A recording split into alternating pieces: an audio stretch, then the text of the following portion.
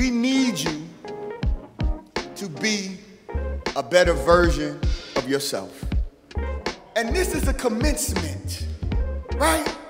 This is what this is about the beginning of saying, I am committed and I have a brotherhood to support me. See, sometimes when we commence, when we finish, we think we finish and we leave a place and we don't come home. Think about all the brothers who are going to come after you all through this program who need you.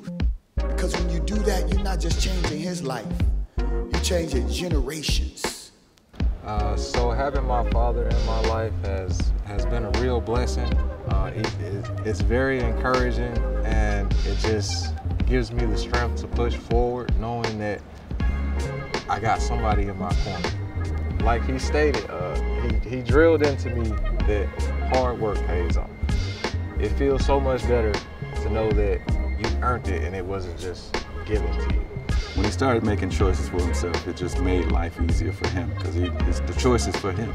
So typically we will do better in making choices that are designed for us than for somebody else and trying to do what somebody else is trying to do. So I've, I've watched him mature over that time and just really be good at making the choices that are best for him. Well, well. We We refuse to lose. We refuse to lose. We refuse to lose.